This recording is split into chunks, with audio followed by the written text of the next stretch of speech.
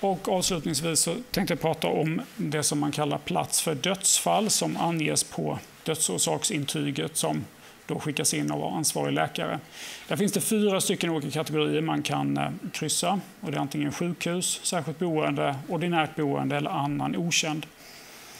Eh, den här lite mörkare färgen det är alltså särskilt boende som är 52 procent av de i åldersgruppen 70 år eller äldre som de har avlidit och där man angivit att platsen för dödsfallet är särskilt boende. Det här, nu visar jag inte den uppdelade som finns i faktabladet mellan eh, 70 till 84 och 85 äldre, men där kan man se att det här drivs till viss del av att det är de som är allra äldst, 85 och över, som framförallt dör på särskilt boende.